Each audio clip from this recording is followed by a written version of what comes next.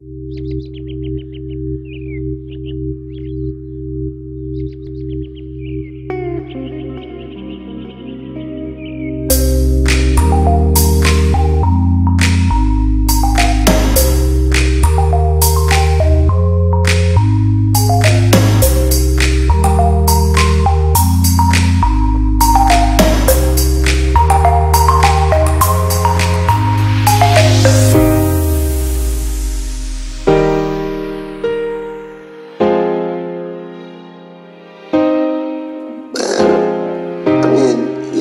was like, we try to make really bring peace, knowing that we really can't solve the problem with a war, you know. Really solve a problem, you know, feel like really killing someone, but whose problem am I solve when I kill someone? You know what I mean? So I figure the peace is the best thing.